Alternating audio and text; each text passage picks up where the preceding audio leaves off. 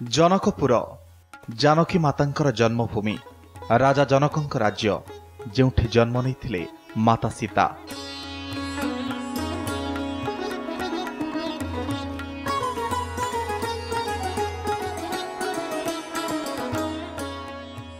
ନେପାଳର ଧନୁଷା ଜିଲ୍ଲାର ମୈଥାଳି ସହରରେ ଆଜି ଦେଖିବାକୁ ମିଳେ ଐତିହ୍ୟ ସଂସ୍କୃତିର ସେହି ମହାନ ପରମ୍ପରା। ଯାହାର ପ୍ରମାଣ ହେଉଛି ସେଠାରେ ଥିବା ରାଜା ଜନକଙ୍କର ରାଜପ୍ରସାଦ ଏବଂ ସୀତା ମନ୍ଦିର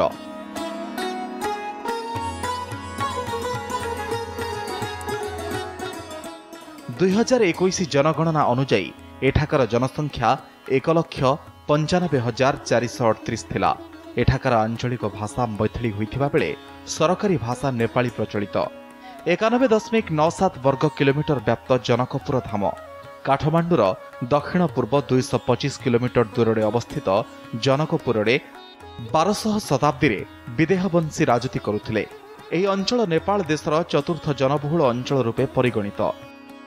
ପ୍ରାଚୀନ ଗ୍ରନ୍ଥ ସାହିତ୍ୟ ତଥା ପଣ୍ଡିତଙ୍କ ମତରେ ଜନକପୁର ଅଠରଶହ ମସିହା ବେଳକୁ ଲୋକଲୋଚନକୁ ଆସିଥିଲା। ଜନକ ରାଜାଙ୍କର ରାଜପ୍ରସାଦ ହିଁ ଜନକପୁର ସ୍ଥିତି ବିଷୟରେ ଜ୍ଞାତ କରାଇଥିଲା।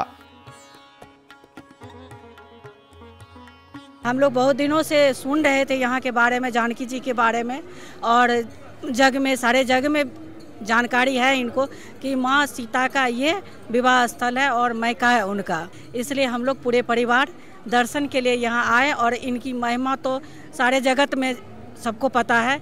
इसलिए माता का कृपा सब पे बना रहे। साफ़ सफ़ाई भी और लोगों का भी सहयोग भी। और सबसे ज़्यादा दर्शन इतना अच्छा हुआ और यहाँ मंदिर कैंपस में आने के बाद बहुत वातावरण शांति है और मन को सुकून मिल रहा है। मन करता है यहाँ बैठे रहे। तो दर्शन करे पहली बार आए हैं। बहुत अच्छे से दर्शन हुआ। सब आदमी दर्शन कर लिए हैं। अब आगे अयोध्या जाने का प्रोग्राम है। बहुत अच्छा बहुत अच्छा विधि व्यवस्था है। आने के बाद सुकून मिला। ଅଯୋଧ୍ୟାରେ ପ୍ରଭୁ ଶ୍ରୀରାମ ମନ୍ଦିର ସହିତ ଏଠାକାର ଜାନକୀ ମନ୍ଦିରର ରହିଛି ଅନେକ ସାମଞ୍ଜସ୍ୟ।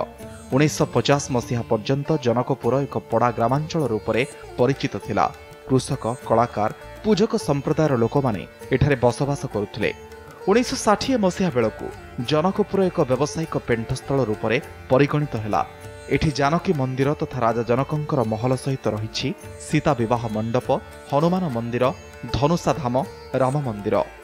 ଏଠାରେ ଜାନକୀ ନବମୀ ବିବାହ ପଞ୍ଚମୀ ରାମନବମୀ ଆଦି ଖୁବ୍ ଧୁମଧାମରେ ପାଳନ କରାଯାଏ बहुत ही अच्छा लगा अगर कि यहाँ का माहौल भी बहुत ही अच्छा है और एनीवे जो भी है ना कॉपरेट करने वाला है सब बहुत ही अच्छा है उनका जन्म स्थान जो है वो सीतामढ़ी है वहाँ यहाँ वही एरिया है उनका ही तो यहाँ आए हैं बहुत ही मतलब उनका क्या बता जानकी माता का जन्म हुआ फिर शादी हुई फिर वो वनवास गए फिर वो आए, फिर वो धरती में समा गए। जहाँ से निकले, फिर वहीं वो चली गई।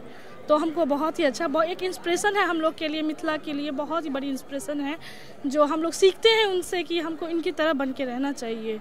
उनकी ऐसी बहू बनी, उनकी जैसी बेटी बनी है तो हमको बहुत ही अच्छा लगा। ये मंदिर जो है सो त्रेता की कहानी है। महाराजा जनक और दशरथ हुए थे। से दशरथ जी महाराज के पुत्र राम आए और धनुष जग में विजयी हुए, उनका जो है सो यहाँ विवाह हुआ। और तभी से ये जनकपुर और अयोध्या का एक बहुत बड़ा संबंध जुड़ा हुआ है, जो अभी भी उस प्रकार से लोग आते जाते अयोध्या से तो उसी भाव से आते जाते हैं। और हम लोग भी उसी भाव से उनको मानते हैं। और ये भवन जो आप देख रहे हैं, ये हमारे पूर्वाचार्य बाबा जो है सो एक पाँच सौ वर्ष पहले यहाँ श्री किशोरी जी को प्रकट किए और उन, उनकी कृपा से ये मेरा चौथा पुस्ता में जो है सो टीकमगढ़ के रानी जो अयोध्या कनक भवन बनाई, वो ये भवन बनाई, है ना? और यहाँ तभी से सेवा पूजा संत महात्मा आए गए भक्त जन सबको जो होता है सो निर्वाह करते हैं यहाँ तो केवल श्री जुगल सरकार चारों दुल्हा चारों दुल्हन की पूजा होता हनुमान जी के है ना यहाँ उन्हीं के प्रधानता है ହିନ୍ଦୁମାନଙ୍କର ଏହି ସ୍ଥାନ ସହିତ ସିଧାସଳଖ ସମ୍ପର୍କ ରହିଛି ଯାହାର ଐତିହ୍ୟ ଇତିହାସ ସହିତ ସଂସ୍କୃତି ପରମ୍ପରାକୁ ବଞ୍ଚାଇ ରଖିବାରେ ନେପାଳ ସରକାର ଯଥାସାଧ୍ୟ ଉଦ୍ୟମ କରିଛନ୍ତି ସିଧାସିଧି ଆମେ ଯଦି କହିବା ଓଡ଼ିଶାର ଅ, ବୃହତ୍ ଗଣମାଧ୍ୟମ ନନ୍ଦିଘୋଷ ଟିଭି ଆସି ଆ, ନେପାଳରେ ପହଞ୍ଚୁଛେ। ଆଉ ବିଶେଷ କରି କ୍ୟାମେରାମ୍ୟାନ୍କୁ ଦୁଷ୍ମନ୍ତ ମୁଁ କହିବି ଦେଖିବା ପାଇଁ, ଆମ ପଛକଡ଼େ ଅଛନ୍ତି ଜନକ ମନ୍ଦିର, ଅର୍ଥାତ୍ ଜାନକୀ ମନ୍ଦିର ମଧ୍ୟ ସିଧାସଳଖ କହିପାରିବା। କାହିଁକିନା ଏଇଠି ସୀତା বড় হয়েছে এবং তাঁর লালন পালন সব এইটি জনক মহারাজ করলে তবে নিশ্চিত ভাবে এই যে খবর আজ আমি নন্দীঘোষ টিভি প্রসারণ করছু কিনা এই যে মন্দিরর ঐতিহ্য রয়েছে যে ইতিহাস রয়েছে তাকে নেপাল সরকার ତାକୁ ବଜାୟ ରଖିଛନ୍ତି ଆଉ ବିଶେଷ କରିକି ଢେଙ୍କାନାଳ ଆ, ଠାରୁ ଆରମ୍ଭ କରି ଭୁବନେଶ୍ୱର ଏବଂ ଓଡ଼ିଶା ଠାରୁ ଆରମ୍ଭ କରି ବିଦେଶୀ ପର୍ଯ୍ୟଟକ ଯଦି କ- ସମସ୍ତଙ୍କ କଥା କହିବା ଏହି ମନ୍ଦିରକୁ ଦେଖିବା ପାଇଁ ନିଶ୍ଚିନ୍ତ ଭାବରେ ଆସୁଛନ୍ତି ଏବଂ ବର୍ଷ ତମାମ ଏଠି ଭିଡ଼ ଲାଗି ରହୁଛି। ଯଦି ସିଧାସଳଖ ଆମେ କହିପାରିବା ନେପାଳର ଇଏ ଗୋଟେ ପୌରାଣିକ ଐତିହ୍ୟ ଏବଂ ଯାହାକୁ ଦେଖିବା ପାଇଁ ପ୍ରତ୍ୟେକ ଦିନ ହଜାର ହଜାର ଶହ ଶହ ସଂଖ୍ୟାରେ ଦର୍ଶକମାନେ ଭକ୍ତମାନେ ଏଠିକି ଧାଇଁ ଆସୁଛନ୍ତି। ନେପାଳ ସତ୍ୟସ୍ୱରୂପ ଦାସ ନନ୍ଦିଘୋଷ ଟିଭି